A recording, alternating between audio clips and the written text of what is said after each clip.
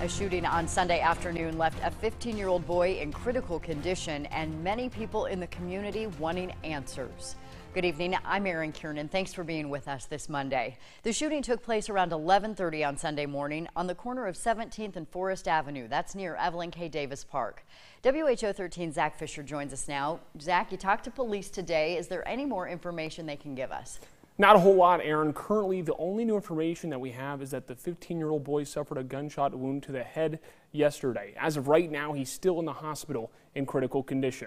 Police say that the investigation is proceeding well. The Criminal Investigations Unit, they're out on the scene today collecting evidence. Before the police arrived on the scene yesterday, there was a neighbor who responded first to the gunfire and performed CPR on the boy until police were on the scene and took it from there.